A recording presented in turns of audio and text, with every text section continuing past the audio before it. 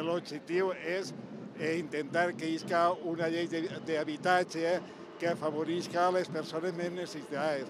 Nosaltres el que demanem és que cap desnonament sense alternativa habitacional i que topen els preus de lloguer, el que no n'hi ha dret, el preu de lloguer està molt alt i els jornals està molt baixet i és necessari que la gent no isca al carrer, perquè la Constitució, l'article 47 de la Constitució diu que tota, tota espanyol té dret a, a un habitatge digne i això no s'està realitzant així. Claro, claro, que no pot ser és una barraca o un pont.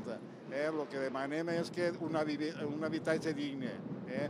Però el més important és que baixen els lloguers perquè estan controlant molt els lloguers i beneficien uns pocs y perjudiquen a la clase trabajadora. Pues estamos aquí hoy reivindicando la falta de vivienda habitacional para todas las personas a nivel estatal, ya que somos el último país que menos vivienda habitacional para la gente hay. Eh, eso sí, tenemos muchísimo, muchísimo listillo que se lo lleva todo, porque los bancos nos están robando hasta el pensamiento. Y esas viviendas van a parar a fondos buitres, en vez de retroactividad a las personas que se las han robado, ya que se las llevan un precio irrisorio y eso es intolerable por estos desgobiernos. No se debe de consentir.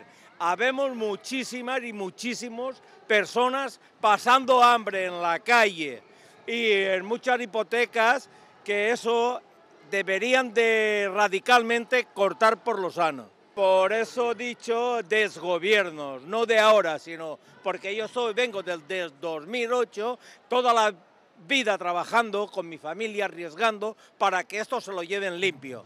Mi vivienda que he invertido toda la vida con mi familia para que ahora se vayan a llevar limpitos los fondos buitres, tolerado por los desgobiernos, que son los verdaderos culpables.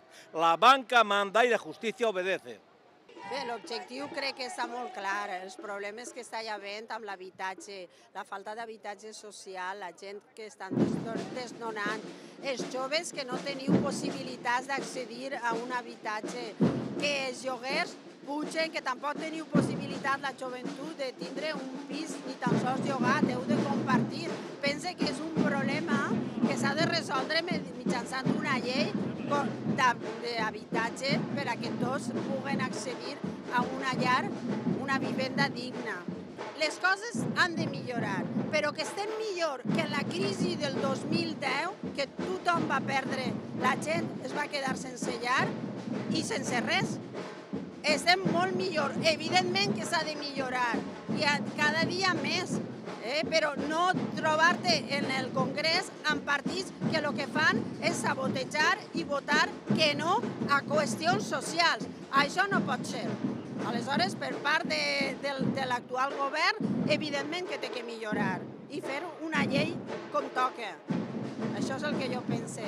Però en comparació d'abans, escolta, Estamos hoy eh, para ver si nos escucha el gobierno o quien tenga que, que sea Eh, porque se pasan la pelota unas a las otras, ya vemos muchos afectados. Una de ellas soy yo y vengo de Elda, Alicante. Hoy por hoy, eh, del Fondo Buitre, prácticamente estoy echada de mi casa con mi hija y soy una persona vulnerable, no tengo dónde ir. Entonces por eso estamos aquí en la calle, para que nos escuchen, porque nos están dejando solos. El gobierno nos está dejando solos y somos muchos. Aquí ah, no habemos muy poco, pero somos muchos.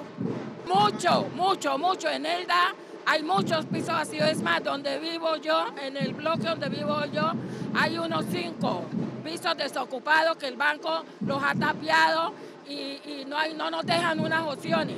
Ahora prácticamente nos están haciendo, éramos dueños de nuestra vivienda y nos están obligando a hacer unos ocupas más.